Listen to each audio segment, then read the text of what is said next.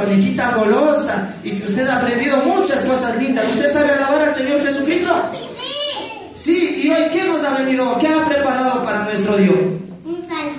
Ah, un salmo. ¿Quieren escuchar un salmo? Amén. Dicen, es todos los micrófonos suyos, conejita golosa.